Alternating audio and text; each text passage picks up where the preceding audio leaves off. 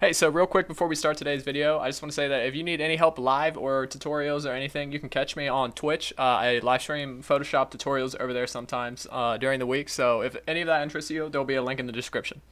Yo, what is up, guys? I hope you're having a good afternoon. Uh, today we're going to be photoshopping our own Twitch banner. Uh, to start, I'm going to be showing you what size uh, you're going to need for that image. So the website that I have pulled up here uh, is canva.com slash sizes slash twitch. Uh, I can have that in the description for you, but this is going to show you essentially all of the sizes for everything on Twitch. This is a great website. They have a whole bunch of stuff on here.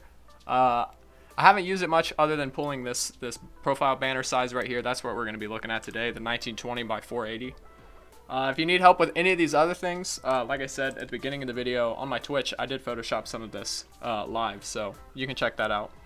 So this is the one we're going to be pulling here today, 1920 by 480. And real quick, an example of uh, some of those. This is mine right here, the Games Plus Internet logo. I typically do gaming videos, so if you want to catch any of that, uh, you can subscribe to this channel or find me on Twitch, like I said.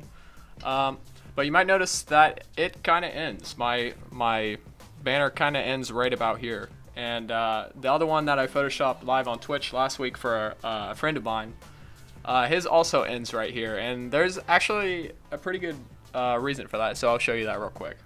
Okay, so here we have my Twitch channel. Uh, you can see my banner here, and actually you can see this is perfectly centered. Even though the image itself is not centered, it ends right here. Uh, the banner itself also ends right there on Twitch. Uh, in the day and age of multiple ratio screen sizes, this is the typical screen ratio that you're going to want if you want it to be set up for desktop viewers. Uh, also, if you if you click on it, you can extend it to a full view to the wider view. Uh, typically, it doesn't display this way because then there's no chat on the screen. So I cut my banner off uh, at a certain point, and I can show you how to do that. If if you want, you can extend it the whole way. You can have it set um, to go all the way out there. I don't because you know obviously there's the chat right here, and if you go full screen, then you don't see that. And then you can I think make it smaller. I don't know. You can seriously mess with the ratio of this, but uh, we're going to be looking into how to create one of these for yourself. Okay, so we're going to go in here and create a new uh, Photoshop document. This will just be a template or I don't know what I'll name it. We'll just do template. But like we were looking at earlier uh, with our banner size here, we're going to want to make sure that we put in 1920 by 480. That is a profile banner. That's what we're working on right now. So your width is going to be 1920. And then obviously your height will be uh, 480. I typically leave the resolution at 300 and my color mode to 16-bit. You can change any of this if you want, if you have other uh, choices, but this this has worked out the best for me so, so far here. Uh, you can make the background whatever color you want. I just have it set to black, I think. And uh, yeah, here we go. So if we go back and forth between the one that I created for my friend here, you can see uh, that it's the same exact size. Uh, what I'm going to do is I'm going to set this margin right here so I know where to stop because I prefer that the banner ends where the screen ends. So on my new one, I'm just going to come to right about here on the rulers. If you don't have the rulers on your screen, you can click right here, click view, and then go down to rulers, or just hit control R and your rulers will show up here. But right at about five and a half, maybe not five and a half, but right about there. So click over here and drag it. Mm, we'll go right there and that's where we're to stop our banner. So you can see uh, both of these have a gradient, or actually mine does not have a gradient, but his does have a gradient. So what I did is instead of centering it with the entire image, I centered it with just the space between this line and the beginning of the image. So it would all be centered on here. I'll just go ahead and throw a gradient on here real quick.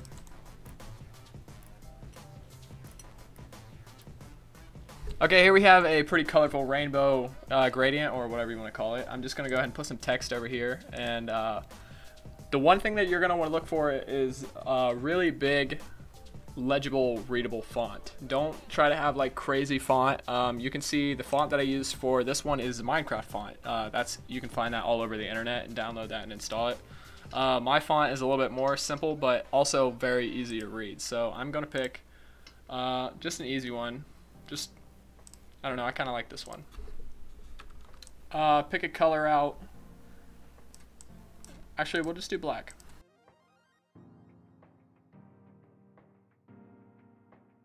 So I've just written Boss Gaming in here. You can put anything in here that you want, but um, the name of whatever your channel is called, obviously, is what you're going to put in there. So uh, I select this and then click to uh, edit and free transform. So you can change the shape and size of this text without having to be too precise. Like I said before, I'm going to center everything inside this margin over here. I'm not too worried about this over here. If anything, I might put additional information over here, like links to things that aren't in the main picture. Okay, so once you have your text on here, uh, the name of your your channel or your Twitch channel or however you want to do it, uh, I'm going to put an effect on this text so it'll stand out a little bit more. It, do, it does already pop quite a bit, but um, how I'm going to do this, I'm going to double click the layer that we have selected right here. This is going to bring up this uh, layer style uh, window or whatever you want to call it. There's two really good options for getting your text to stand out on top of something. Or I guess really, really there's there's multiple of them because you could use these ones up here. I just don't typically use these ones too often. So the two that I really use the most are going to be outer glow. Whoa, holy crap and uh, drop shadow. So that's going to make it look like the text is actually on top of the image instead of part of the image. Uh, I'll show you how to do an outer glow. This one's kind of colorful because uh, I was working on something, but typically when you come in here, it's going to be selected to white, and it's probably just going to look like look like this. It's just going to look like it's kind of glowing a little bit, which is actually a pretty decent look. Um, but in order to get your text to stand out, you're going to want to turn your opacity all the way up. Your size and your spreader are going to change how the um, the glow actually works. We're just going to have a slight glow around the outside of black and white. That looks good there. Okay, so now we have uh, our background, which is our gradient here, the multiple color, the rainbow thing. We have our text with the effect on it so it stands out a little bit. Uh, I'm just going to go ahead and put some images down here and some other information. You can see what I did for this one here as I put his Epic Games account, uh, the link to his YouTube channel, or the name of his YouTube channel actually because the link would have been uh, much longer, and then for Instagram. And I believe, okay, so, or you could do like mine where this is a little bit more stylized. I have an ARK T-Rex, a Grand Theft Auto character, Battlefield 1 character, and a gun from Fortnite. So really, this part is up to you creatively. Um, a lot of people I see put links to other content that they post. However, what I'm going to do, I'm going to do something kind of interesting for this. Okay, I've went ahead and pulled some pictures here, and I'm going to go ahead and, and show you the the rest of this process. So I pulled uh, four pretty well recognized characters here. We have Yoshi, Crash Bandicoot, a Spyro the Dragon, and a Pikachu. So what I'm going to do is I'm going to pull just the silhouette of Pikachu. There's several ways to go about this. Unfortunately, this is uh, looks like looks like it has yeah okay so it's on top of a white background, but the image itself is actually larger than the whole thing. So the best way to get just this here, uh, he's surrounded by a white background. So what I'm going to do, uh, what's easiest here, if you take your lasso, the little paintbrush tool here, go ahead and, and do the plus because we're going to want to add a selection. Make sure you have your layer selected. I'm going to select just a little bit of this white uh, above his head here. If you go to select and then click similar, that's going to select all the white in the image.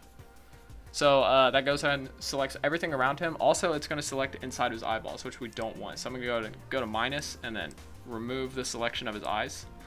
So now we have the entire outside selected, which is actually inverted of what we want. So what you're going to want to do is go to go select and click um, inverse right here. And then now it has everything besides what you had selected originally selected. So unfortunately this, like I said, image size is bigger than the Pikachu inside it. So there's this little bit of transparent above the image and it selected that also because there's nothing in that file space, that space up there, when I go and click and drag this, it's going to get rid of that. So we don't have to worry about that at all. I'm to go ahead and pull this to my image here.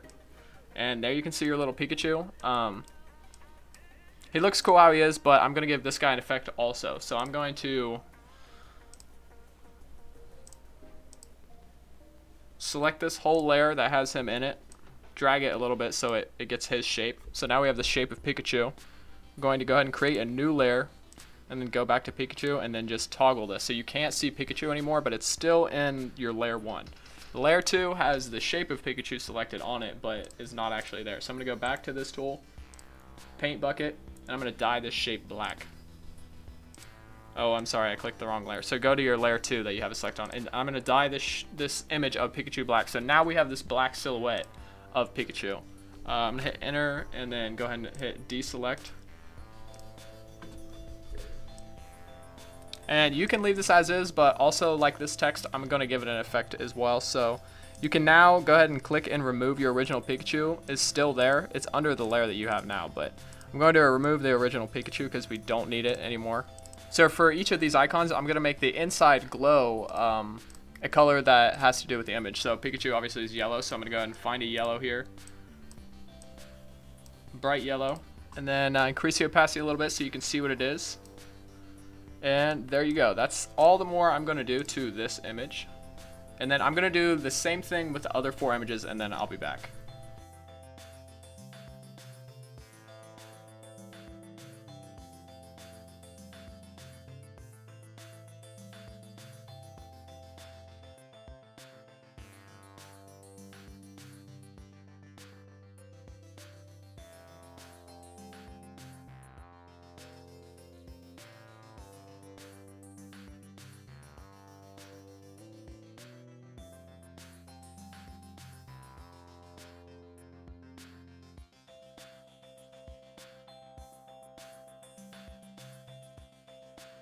Okay, so I have all four images on here. As you can see, Pikachu has the yellow inner glow. Uh, the Dragon got the purple. Crash Bandicoot got orange. And then green for uh, Yoshi. So pretty much that wraps it up as far as creating the banner. Uh, now I'm going to show you how to save it the best way so that uh, you don't get any file size issues with Twitch. So if you click file and you go down here to export instead of save as, this is actually going to help you compress the file smaller. So if you go to cl click uh, export as PNG, this is going to help compress the file size the best it can without losing any of the quality. And also, um, this is a file that Twitch recognizes. So you can go to whatever file you want to save this as. Go ahead and type in, uh, I put uh, template banner in there, and then it's going to say all files here, but this is actually going to export this as a PNG. So when you click save, it'll go ahead and run that and save that as a PNG. Before you leave though, it's super important because the way you saved it, make sure that you also save it as a Photoshop document. You also want to make sure you have it saved as a Photoshop document or else you're not going to be able to go back in and edit this if there's something wrong or something that you don't like. So make sure you save that and turn on maximum compatibility in case Photoshop ever updates. You want to make sure you can use it in the newer Photoshop versions. Alright guys, that's going to uh, go ahead and wrap up this video for today. Thanks for watching. If you have any questions or anything that you would like me to make a tutorial on, go ahead and leave a comment in the description below, or the comment section I mean. If you want to, you can check me out on Twitch. I do live streams of me photoshopping stuff for people, or sometimes I play games if you want to watch me play a game there. Like I said, I appreciate the view. Go ahead and leave a like if you like the video. Subscribe for more content like this. Thanks for watching, guys. Peace.